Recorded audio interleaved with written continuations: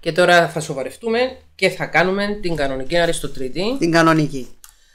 28 Φεβρουαρίου 2023 είναι η τελευταία μέρα του Φεβρουαρίου. Έρχεται ο Μάρτης. Τι θυμήθηκα τώρα. Τι θυμηθήκες; Είδα μέσα στο Twitter ένα meme, ένα, μια- ένα screenshot που κάποιον ημερολόγιο το οποίο λαθασμένα έγραφε ότι είχε 31 μέρες ο Φεβράριος του 23 και γράφει που πάνω άλλο στο Twitter όποιος έχει υποσχεθεί μπα, γάμο 31 του Φεβράρι να τρέξει να κρυφτεί. Επειδή ποτέ δεν έχει 31 ο Φεβράριος. Ποτέ, το ποτέ. πολύ να έχει 29. Το πολύ. Λοιπόν, ε, βλέπω και ότι έχεις ωραία θέματα. Αλλά εγώ θα σήμερα θέλω να κάνω ένα θέμα το οποίο μας ζήτησα. Να κάνουμε τότε. Ναι, δεν πειράζει. βαφτίσει μια που δεν θέλει να παντρευτεί, η νονά της. Μάλιστα. Θέκλα μου αγαπημένη καλησπέρα. Ερώτηση θέμα για Αριστονίκη. Για σέναν τούτον όλο δικό σου.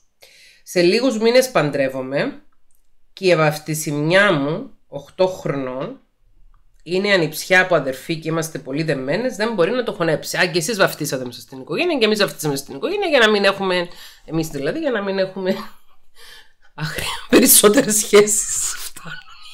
Ήδη υπάρχουν σε εσάς.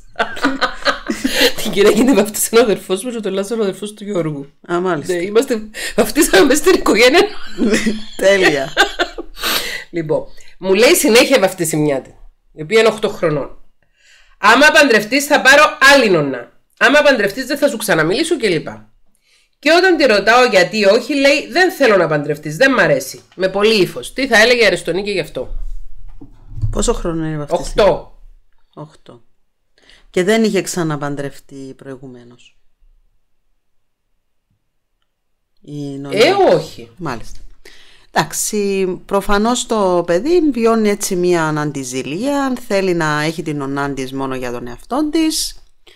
Ε, εξαρτάται και πώς, πόσα είναι τα μέλη της οικογένειας και πόση σχέση έχουν μεταξύ τους και μήπως η νονά ενδεχομένως να μ, έχει ένα ρόλο έτσι πολύ σημαντικό για τη μικρή. Λέει είναι πολύ δεμένη και κόρη τη Πολύ αδερφή δεμένη. της. Δηλαδή, μπορεί να τη βλέπει και σαν μητέρα. Ναι. Έχει άλλα αδέρφια το κοριτσάκι; Ε, τόσα μας είπαν, τόσα λέμε. Προφανώς δεν έχει. Οκ, εντάξει.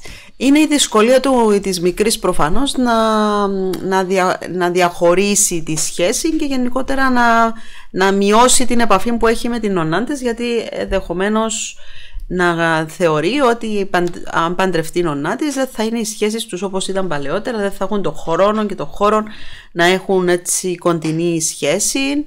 Ε, θέμα ηλικίας. ε, Ε, θέμα- θέμα αντίληψης της ηλικίας του 8χρονου. Ε, ναι, ότι, ε, ο- δεν, ότι, ότι, ότι οι σχέσεις είναι αποκλειστικές. Ότι αν η νονά μου παντρευτεί, θα χάσω την νονά μου. Ενώ στην πραγματικότητα η δικιά μου βαφτιστήρα, που είναι 20 χρόνια πιο μικρή από μένα, που τώρα είναι 28, ε, κάθε τρεις και λίγο μου λέει πότε θα μου πάει πάρει έναν καινούριο νονό; Μέχρι σήμερα.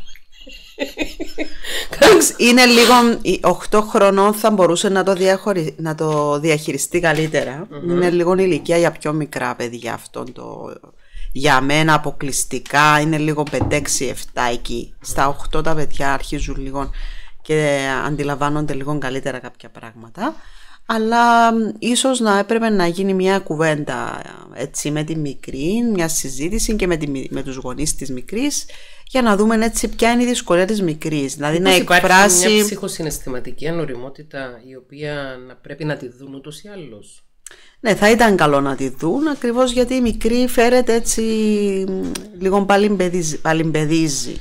Δηλαδή φέρεται έτσι ως πιο μικρή στην ηλικία ε, αλλά εξαρτώνται και πολλά πράγματα από την οικογένεια δηλαδή τις σχέσεις στο μέλλον της οικογένειας ε, τι λένε μες στην οικογένεια για αυτό α, μήπως, μήπως συζητούν και λένε κάποια πράγματα που επηρεάζεται η μικρή. Ε, η σχέση που έχει η μητέρα της μικρής με τον, α, με τον νονό που θα έρθει αν υπάρχει ήδη υποψήφιος και διάφορα άλλα πράγματα. Να- Μπορούμε δηλαδή μόνο με αυτά τα στοιχεία να βγάλουμε ένα τελικό συμπέρασμα. Χρειάζομαστε και άλλα στοιχεία για να πούμε περισσότερα πράγματα, αλλά ωστόσο η ηλικία των 8 χρονών ε, είναι, μεγα... είναι πιο μεγάλη από το να α, θέλει το παιδί αυτή την αποκλειστικότητα που ζητάει η μικρή εδώ από την νονά της και δει από την νονά της. Και δεν το ζητάει από την μαμά της, από την νονά της το ζητάει. Ναι. Θέλω να δράξω την ευκαιρία να μιλήσω για αναδημιουργημένες και για τις περιπτώσεις εκείνες τις οποίες ξαναπαντρεύεται η μαμά ενός παιδιού ή ο μπαμπάς ενός παιδιού. Πώς το διαχειριζόμαστε; Ε, πολλές φορές μπορεί τα παιδιά στη σχολική ηλικία, σε μια, μια ηλικία 8 ετών για παράδειγμα, ή 5 ή 6, να, να φέρουν αντιδράσεις στο remarriage, στο, στο δεύτερο ή τρίτο γάμο των γονιών τους. Ε, και πολλές φορές οι γονείς ε, μπορεί να, να νιώθουν ότι κάνουν κάτι Ότι εφόσον το παιδί μου δεν θέλει να ξαναπαντρευτώ ή το παιδί μου έχει μια αντίδραση είναι ότι κάνουν κάτι λάθος. Πώς το διαχειριζόμαστε ως γονείς ε, τούτον το θέμα, αν υποκύπτουμε στην απέτηση των παιδιών να μην ξαναπαντρευτούμε, πώς το διαχειριζόμαστε; Όχι, να πούμε ότι οι γονείς έχουν ε, δικαίωμα να φτιάχνουν τη ζωή τους γενικότερα μετά από κάποιες καταστάσεις που τους δυσκόλεψαν, ωστόσο έχουν και υποχρέωση να διαχειρίζονται σωστά αυτά τα θέματα με το παιδί τους. Όπως ας πούμε του να το προετοιμάσουν σωστά με τις συμβουλές ενός ειδικού ε, για την οποιαδήποτε αλλαγή μπορεί να έρθει στη ζωή τους, σωστά βήματα, όχι βιαστικές κινήσεις δεν κάνουμε πράγματα που το παιδί δεν είναι έτοιμο να τα δεχτεί. Ε, το παίρνουμε σε ειδικό, πηγαίνουμε και εμείς σε ειδικό, αναζητάμε υποστήριξη, λέμε τα δεδομένα της οικογένειας και βοηθούμε το παιδί να, ανάλογα με το ηλικιακό του φάσμα να αποδεχτεί και να αντιληφθεί την κατάσταση. Δεν κάνουμε πράγματα από το μυαλό μας, ούτε πιέζουμε, ούτε ζορίζουμε τις καταστάσεις, γιατί αυτό θα φέρει αντιδράσεις. Και επίσης όταν παντρευόμαστε και έχουμε ήδη παιδιά, ειδικά ανήλικα, πρέπει να είμαστε πάρα πολύ προσεκτικοί στην επιλογή του νέου συντρόφου. Πάντα να έχουμε μέσα στο μυαλό μας ότι από τη στιγμή που ε, δεν, δεν είμαστε πλέον με τη μητέρα τους στη βιολογική ή με τον πατέρα τους στο βιολογικό ε, και αποφασίσαμε να χωρίσουμε ή έχει τελειώσει ο γάμος η σχέση με τον γονέα των προηγούμενων, είμαστε πολύ προσεκτικοί ώστε αν γίνει ξανά μια νέα συνθήκη να είναι σίγουρα καλύτερη από την προηγούμενη, όχι να χειρότερη. Ακριβώς, ακριβώς. Οπότε ε, πρέπει να σεβόμαστε την ηλικία των μελών της οικογένειας μας, τις ανάγκες των μελών της οικογένειας, γιατί μπορεί μέσα από τα τέλος πάντων τις δυσκολίες που πέρασε η οικογένεια, το κάθε μέλος της οικογένειας της περνά. Δεν είναι μόνο δηλαδή η, η μητέρα, ο πατέρας που τα περνά, περνούν και τα παιδιά τα δικά τους στάδια. Οπότε πρέπει να σεβαστούν και τα στάδια των παιδιών. Και επίσης ήθελα να σας πω ότι στην εφηβεία βγαίνουν όλα. Mm. Εντάξει, γιατί ξέρω περιπτώσεις που ήταν τα παιδιά μικρά και η περίπτωση που έχω στο μυαλό μου τώρα έχει να κάνει με μητέρα. Έχει πολλές περιπτώσεις και με πατέρα. Εκεί η μητέρα έλεγε δεν πειράζει, δεν, λένε, δεν έχουν θέμα τα παιδιά. Α συγκατοικήσω και με αυτό, δεν έχουν θέμα τα παιδιά. Α συγκατοικήσω και με τον άλλο, να κάνω και αυτή την προσπάθεια, να κάνω και την άλλη προσπάθεια. Έτσι προσπάθειες απρόσεχτες που έμπαινε η κοπέλα σε σχέσεις συνεξάρτησης κλπ. Και, και όταν μπήκαν τα παιδιά της στην εφηβεία, έκαναν τεράστια αντίδραση και τα δυο Και ήταν έτσι, δεν είναι θεραπευόμενη η κοπέλα αυτή, η κοπέλα που γνωρίζω, ήταν έτσι ε, πολύ επιθετικά προς τη μάνα. Ενώ όταν ήταν μικρότερα, ακόμη και στο 8 δεν έβγαζαν αντιδράσεις. Δηλαδή, οτιδήποτε κάνουμε όταν είμαστε γονείς, Τώρα ε, πήραμε ένα φορμί από την κοπέλα μου, είναι νονά. Ε, άλλη η θέση της νονά, άλλη η θέση του γονιού. Μιλάμε για τους γονείς τώρα. Όταν είσαι γονιός, ε, έστω και αν το παιδί σου είναι μικρό και είναι agreeable, ε, ε, συμφωνεί με τις αποφάσεις σου χωρίς να φέρνει αντιστάσεις, ε, να ξέρεις ότι θα κρυθεί στο μέλλον για αυτές. Ναι. Δηλαδή, αν τώρα είναι σε μια ηλικία που δεν μπορεί να σου πει τι είναι αυτές οι βλακίες που κάνεις και τι Μόλις γνώρισες την άλλη την κοπέλα, την έφερες σπίτι σου να συγκατοικήσεις. Όχι. Μου λέγε, μου γράφει προχθές μια κυρία ότι ε, χώρισα, χώρισα με τον σύζυγό τη, ότι πήγαινε το παιδί της για λίγες, ξέρω, για το Σαββατοκύριακο στον μπαμπά. Και ήταν εκεί μια φίλη του μπαμπά που της αγόρασε δώρα, που την πήγε βόλτα και λοιπά. Και την επόμενη φορά δεν ήταν εκεί η φίλη του μπαμπά. Προφανώς ήταν μια πολύ σύντομη περιστασιακή σχέση του πατέρα που τη γνώρισε στο παιδί του. Λάθος.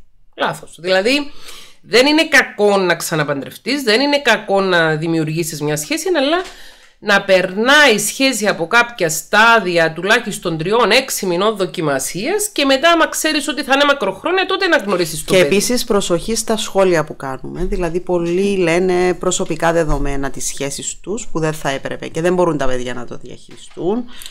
Εννοείς ευαίσθητα δεδομένα. Ευαίσθητα δεδομένα.